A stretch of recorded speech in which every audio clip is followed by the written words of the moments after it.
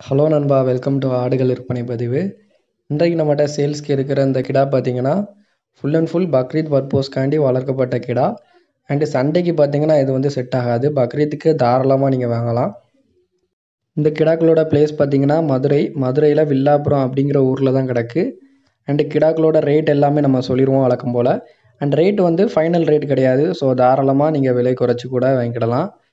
So contact number கொடுத்துருவோம். Lockdown time முடிஞ்சுக்கிட்டோம் நேரடியாக போய் பார்த்து எடுத்துக்கோங்க. அண்ட் வீடியோ பதிவை பார்த்துட்டு யாரும் அட்வான்ஸ் கொடுக்க வேணாம். இந்த கிடாக்கு பார்த்தீங்கன்னா ரெண்டு பல் போட்டுருச்சு.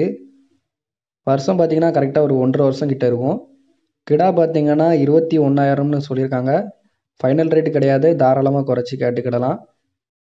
இந்த கிடாக்கு பார்த்தீங்கன்னா பத்து மாதம் இருக்கும். கிடா ரேட்டு வந்து பதினெட்டாயிரம்னு சொல்லியிருக்காங்க. அண்டு தாராளமாக விலை நீங்கள் குறைச்சி கூட கேட்டு வாங்கிக்கிடலாம்.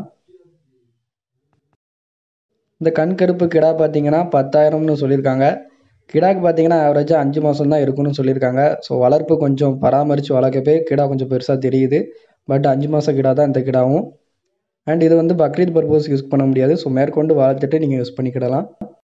இந்த கிடா பார்த்தீங்கன்னா இதுக்கும் ரெண்டு பல் போட்டிருக்கு. ரேட் ஆவரேஜாக இருபத்தி ஒன்றாயிரம்னு சொல்லியிருக்காங்க. ஸோ மேற்கொண்டு குறைச்சி வாங்கிக்கிடலாம்.